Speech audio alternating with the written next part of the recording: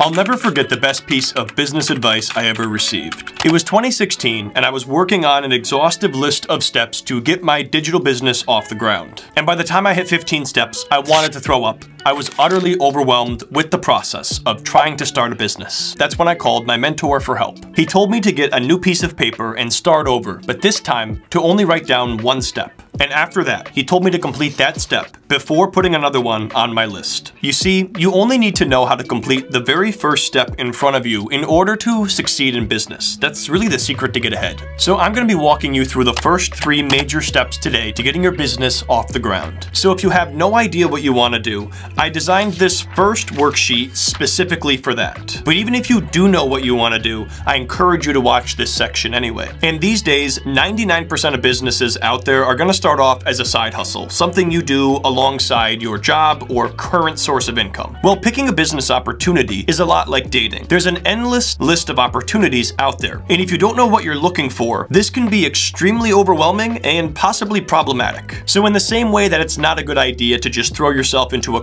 crowded bar and go home with a stranger, you shouldn't whimsically just pick a business idea either and dive right in. This process is designed to help you find the specific criteria that you're looking for in your business, similar to what you might be looking for in a romantic partner. And you need to know what you're looking for before putting yourself out there. Otherwise, everything looks like an opportunity. So let's get started with the first worksheet. We want to figure out the characteristics that you're looking for out of your ideal business or what's really going to be a side hustle initially. And so a few examples of this could be online based, no customer service, out in nature, location independent, animal lover, or feel free to come up with your own as well. So my personal first characteristic would be time freedom because I personally hate getting up in the morning uh, and being on a set schedule. Next, I would personally want to be able to work from anywhere in the world. So my second characteristic is going to be location independent. And finally, we're going to finish off with the characteristic of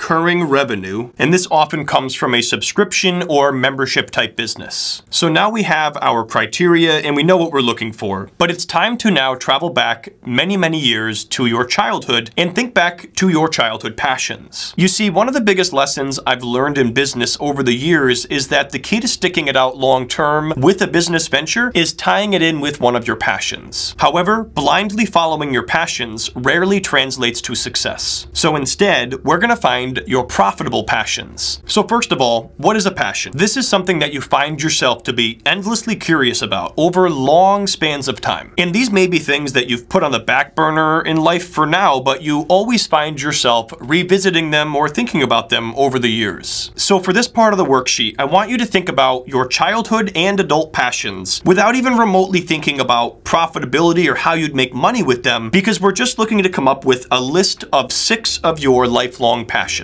And then we're gonna figure out which of these are your profitable passions. So back to the worksheet, I'm gonna go with these passions. Number one is going to be off-road Jeeps. Number two is going to be acoustic guitar. Three is going to be freshwater fishing. Number four, a popular one that is video games. Number five is going to be woodworking. And then finally for number six, we have camping. But now we do need to start thinking about money, a necessary evil in life. But how do you figure out which of your passions can make you money versus just feeding your soul? And to figure that out, we're gonna need our next worksheet, which is the quality bar worksheet. And we're gonna come back to this one in a little bit. So before you pursue a given niche in business, you absolutely need to know two things. Number one, how profitable is the niche? And number two, how competitive is it? So the next step here is to take that list of passions and then analyze the competition. And we're gonna do that for three of those passions. And so the goal of the quality bar worksheet is for you to be able to take a passion of yours or even a business opportunity that you were considering pursuing and then be able to look through and determine if it's profitable and also if it's extremely competitive or not because you're gonna wanna make sure you're able to at least meet the minimum level of quality in that particular business niche, but hopefully be able to exceed what everyone else out there is doing. So for example number one here, we're gonna go with our off-road Jeeps. Now, as far as a business in this particular niche, going out and creating your own off-road Jeep accessory is going to be a pretty heavy lift. But starting a resource that reviews and gives information about accessories that already exist is a very viable business option. So that's what we're gonna look into. So the idea here would be making content about existing Jeep accessories and then linking out to them on Amazon and other websites and then earning commissions in the process. So we're gonna look at existing Jeep accessory blogs and see how competitive this particular niche is. So we have this incognito window open and we're just going to type in Jeep accessories and we're gonna see what is pretty much the top blog out there in this niche. Coming up with the top link here that's not an ad is lovethytruck.com and this is top 101 best Jeep Wrangler accessories for 2023. So this would be your immediate and direct competition. So let's go ahead and analyze this using the quality bar worksheet. So for starters, does the business have a professional logo? Well, yes, they do. They have a professional looking logo. Not only that, they also have um, content that has really good branding on it and just, uh, you know, nice looking text. So we're going to say they definitely have that. So I'm going to put that as like a yes plus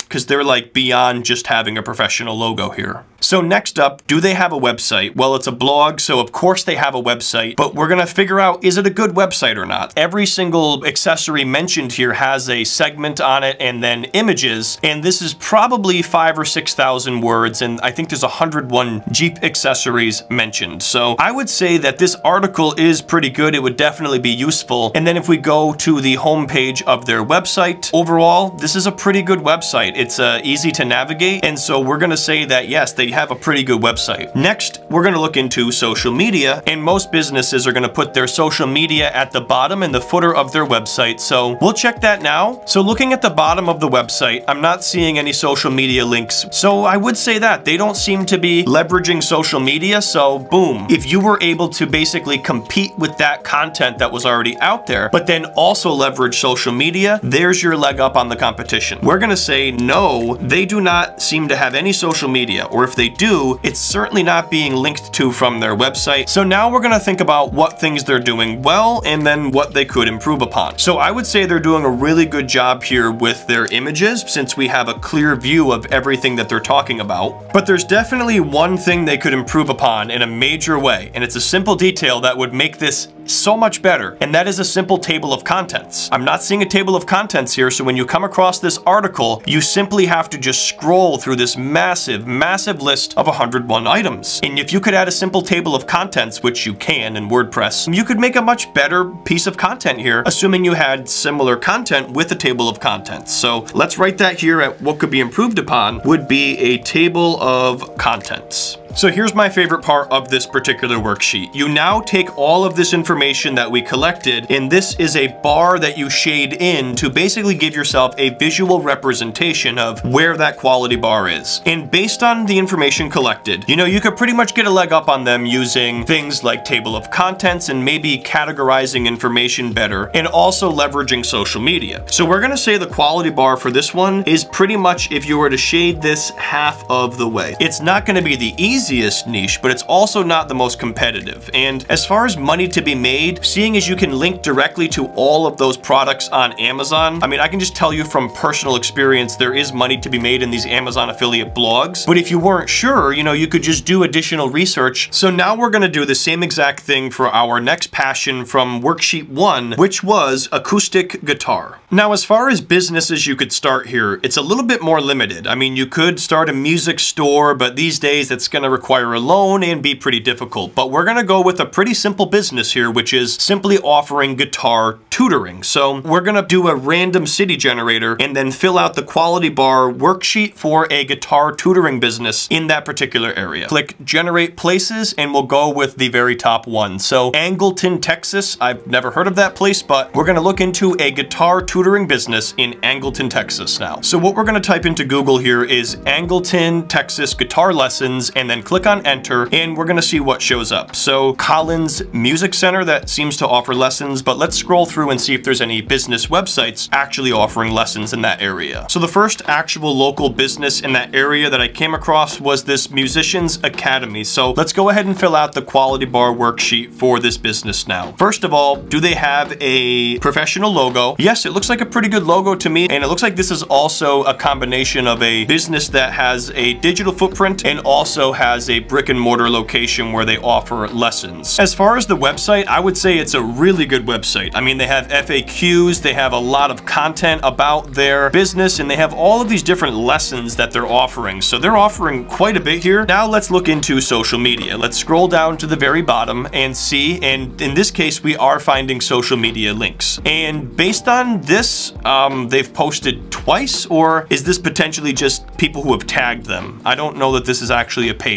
Let's take a look and see if they have a YouTube channel. They have a page here where they've posted, it looks like four times over the last couple of years, 2,900 likes here and 3,000 followers. So we're gonna say that they are active on, it looks like definitely Facebook. They could use some work on YouTube and they don't seem to be on Instagram whatsoever. So we're gonna take those notes on the quality bar worksheet. So this company may not have everything figured out with social media, but they do have a brick and mortar business and that's honestly a pretty high quality bar. So we're gonna fill this one out pretty much two thirds here because unless you're gonna be offering lessons where you're going to people's houses or bringing people to your home, you are gonna need an actual space to do that. Maybe you could do it virtually. I would just think as well that may not be as high paying if you pretty much just have to do one-on-one -on -one lessons. If you wanna scale the business, you're gonna need an actual location. So this is a pretty high quality bar. And so finally, this leaves us with the passion of freshwater fishing. You could definitely start a blog, but we've covered that already. So let's think about a different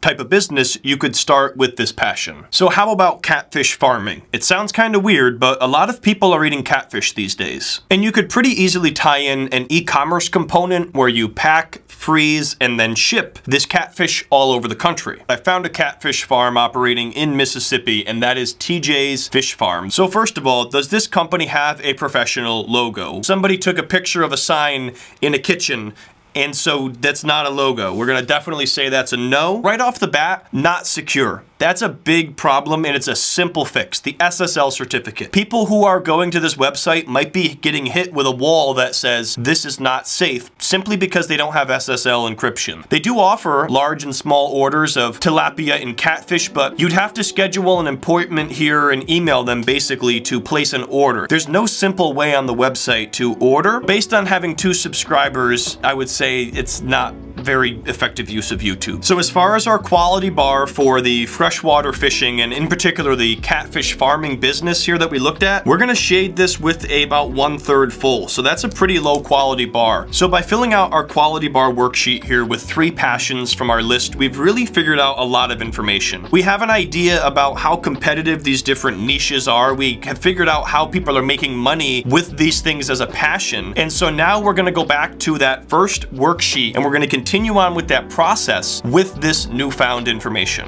What we're gonna do is follow step three here, which is to circle the passions on your list that are most likely to make you money, and this is going to be what we call your profitable passions. So after doing the quality bar research on the off-road Jeeps niche, there's definitely money to be made there, so we're gonna go ahead and circle that on our list first of all. Looking at the acoustic guitar business, that one would definitely be trickier because you're gonna need an actual location. I don't think there's a tremendous tremendous amount of money to be made in acoustic guitar lessons, at least in just operating your own little gig, unless you're just trying to make some money on the side. We're gonna rule that one out and we're gonna move on to the freshwater fishing niche. We're gonna circle that as well. There's definitely money to be made with that particular passion. So now that we have two profitable passions on our list, we now have to go back to step number one, which was the very criteria that we're looking for in the first place. And we now have to do a gut check here and figure out if either of these profitable passions match match up with the criteria we're looking for out of a business opportunity. So let's start off with time freedom. Well, you could easily accomplish this with a digital accessory review business for Jeep accessories, so that definitely would fit that criteria. And as far as the freshwater fishing and the fish farming, well, if you partnered with an existing farm and just simply ran their e-commerce side of the business, you could still have time freedom. And then as far as the characteristic of location independent, that would be possible with both of those businesses we just talked about. But when we get down to our final characteristic here of recurring revenue, this is where we're going to be narrowed down to just one of our profitable passions. And that's because it's going to be very difficult to build recurring revenue into an accessory review blog or even content channel. And that's because you're going to be at the mercy of the algorithms and also just people's shopping behaviors. And so unless you're going to go out and maybe launch an app or something, which is going to be a really heavy lift, it's going to be very difficult to get a consistent monthly recurring revenue with that business model. So we now have to officially rule it out. So we're going to move forward now with the profitable passion of freshwater fishing, looking at the business of starting a catfish farm, but in particular one that offers a monthly subscription. And so this leads us to our final worksheet now, my personal favorite, which is the MVP worksheet. And this is where we figure out how to actually launch the business and start solving a problem that exists in the market. And how you're going to be doing this is by testing the market with something called an MVP or minimum viable product. So this strategy was popularized by a book called The Lean Startup, and this is actually how many startups go about a market test today. And your MVP is your most basic representation of a solution to a problem. The purpose is to get quick feedback from the market in the most efficient manner as possible. Now you might have a business idea that's going to offer multiple solutions to a series of different problems, and that's totally fine.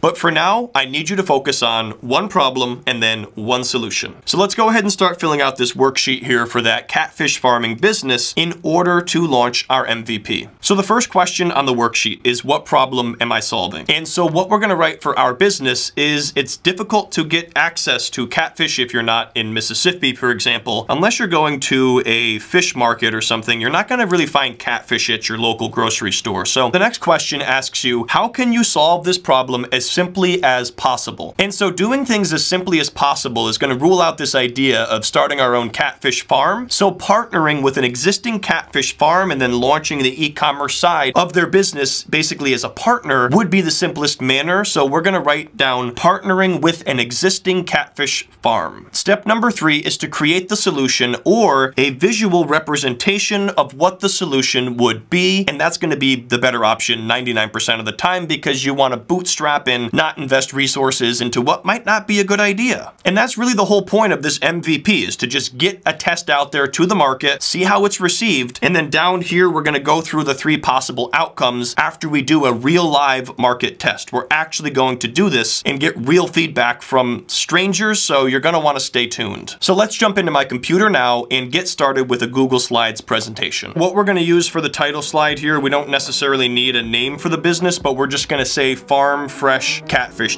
delivered. We're going to move into the next section, which is going to be the main information about our idea. Farm fresh catfish is growing in popularity as more people explore alternative diets. However, sourcing catfish can be difficult outside of Mississippi, that is. We're launching a subscription-based recurring delivery service for farm fresh catfish. And so it just clearly defines the problem, our potential solution. Click here, right click, and then we're going to actually replace this image. And then what I love about slides is you can literally search the web in the right hand side. So that's just how easy this is. And so for the other graphic here, we're gonna replace this with a calendar just to sort of represent the recurring nature of the subscription. And we're gonna probably add some graphics on top of this as well. And so there we go. You could definitely spend more time here. You could even whip up a logo if you wanted to, but for the MVP, we just want people to be able to get an idea of what we're thinking about. The last thing I wanna do is jump over here and just bold our key points. But finally here, we're gonna finish off with something asking people for feedback on this idea. And we're actually gonna set up a Google form where we're gonna be taking people's feedback through that. And then we're gonna send this out to real people for a 24 hour market test. So over on Google Forms now, we're gonna start out with our survey and we're going to keep it very, very simple. That way we get hopefully a high level of participation. Would you consider subscribing to this service if it actually was offered and it's recurring frozen catfish delivery? And we're gonna make this a yes, maybe, or no question just to give people three different options. What would be your delivery frequency, preference, weekly, monthly, every six months, etc. And we're gonna make this a short answer. We're gonna make it required. And then over here in Google Slides, it's going to be very clear for people that they can click and take the two minute survey. And we're gonna also bold that. That way they know it's a very, very short survey. Alrighty, so now it's time for us to share this presentation in a couple of different subreddits that I found that I think are gonna be able to get us some actual feedback.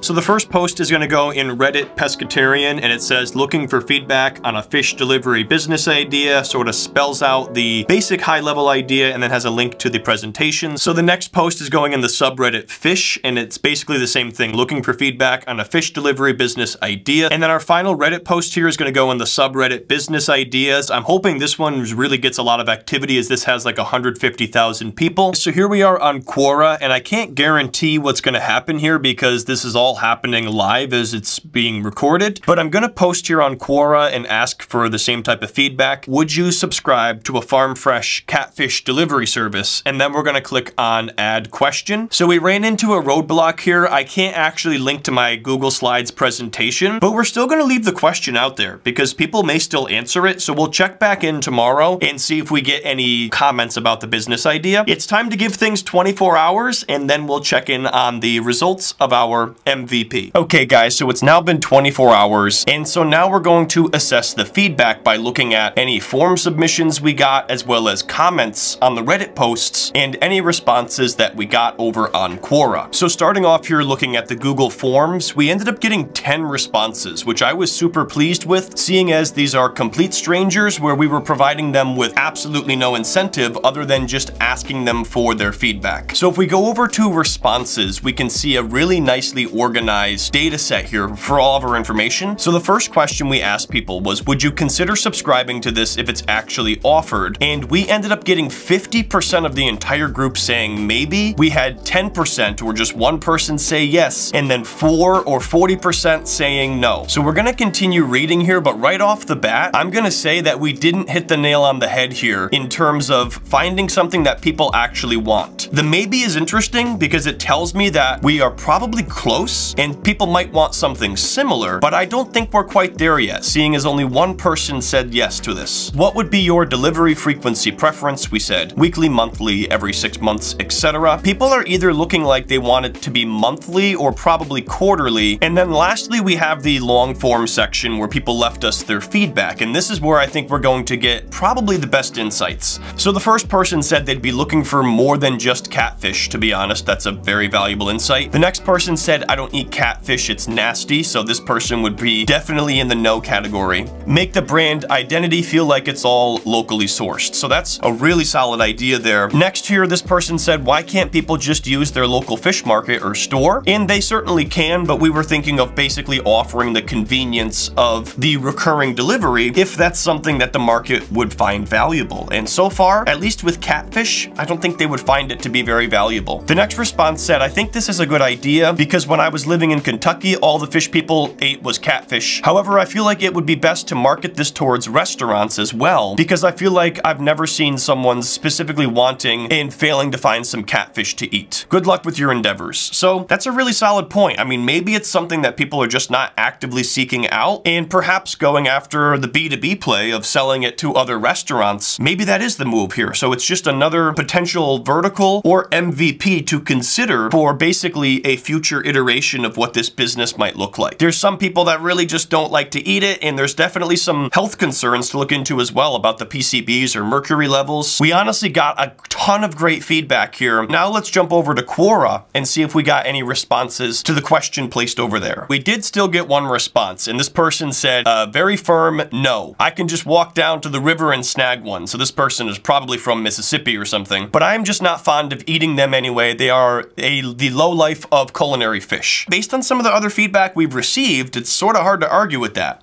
Okay, so we completed all of the steps here on the MVP worksheet except for step number seven, which is testing your potential solution with paid traffic. We sort of did a workaround here by using Reddit, and maybe 10 responses wouldn't be a large enough, you know, sample size for actually pursuing an idea, but I think it's enough for us to figure out that we really didn't have the perfect idea with this first MVP. So I just don't think it would be valuable to put money into ad spend, but maybe if you went back to the drawing board and came up with a different solution, maybe then it would be worth it to do paid traffic. So this leads us to the next section, which is the three potential outcomes of our MVP. Outcome number one is that the market isn't interested in your solution at all. And that's not the case here because we had a decent amount of maybes. We only had one yes, but it seems like people liked the subscription aspect of locally sourced fish, just not so much the catfish. So outcome number two is that the market is interested in a different solution. This is the most common, and this is exactly where we landed, is that we didn't quite get it with this, but we got a lot of data, and maybe if we were to say, okay, maybe freshwater fish isn't the idea, but if we can maybe partner with a saltwater fish farm or, or something like that, or a saltwater fish market, and do the e-commerce side of their business and offer subscription-based delivery of that, and then maybe even building in, you know, meal delivery as a future MVP or future vertical of that business, future solution to a problem. It just gives you, you know, stepping stones of where you could go with that business. And then outcome number three, it's the most uncommon. It's that the market is interested in your solution. And that just really wasn't the case here. It was a close but no cigar situation. And that's what the MVP is really helpful for. Because if I didn't, you know, test this very quickly, just think about how much time I could have wasted on this idea of the catfish farming when I could have been close in terms of the idea, and would I have just pivoted into saltwater fish or something, perhaps that's a much better idea. But from here, I would recommend doing another MVP with the saltwater fish idea, seeking out further feedback, and then if you get more yeses and you definitely think you've landed in outcome three of having the market interested in your solution, that is when you would definitely consider paid traffic, and then if the paid traffic matches up with those results, that's when you could consider pursuing that business idea further. Just like that, you now know how to start a business with this very simple three-step process. Now, of course, the one question you probably have is how do you get your hands on a copy of these worksheets? Well, these are a free bonus that come along with my book, From Side Hustle to Main Hustle to Millionaire, and that is available both in person at Barnes & Noble stores and on Amazon. And if you flip to the very back of that book, there's a secret link that leads to our private Discord community where you can communicate with me and other side hustlers out there. And within that community, we have all of these worksheets available to download. Now, these are just the first three, and we have about a dozen worksheets planned, and we're gonna be releasing three every quarter. So the next set of worksheets are gonna be coming out in April, somewhere around there, so definitely stay tuned for those. I am excited to communicate with you guys over in the Discord and help you get your business off the ground. If you enjoyed this video, guys, this book is really for you because the worksheets are based on the book and this video is based on the worksheets, so you really just got a very small taste of what's in store with my full-length book. I also have an author narrated version on Audible, so if you prefer to listen, you can hear me narrate it. Definitely multiple avenues to explore if you are interested in joining, and you can still get access to the worksheets in the Discord community through Audible or the um, ebook format, no matter what. If you got value out of this video, please share it with one person out there who might be interested in either starting a business or maybe just getting better focused in life on, you know, what they want to do. And I know we didn't cover all of the aspects of starting a business, like forming an LLC and opening up a business bank account. But trust me guys, that's the easy stuff. That's the stuff you can literally just Google search or watch a five minute YouTube video. What we covered here is the important stuff. It's making sure that you don't go to the market with a bad idea or just go into something thinking that you have,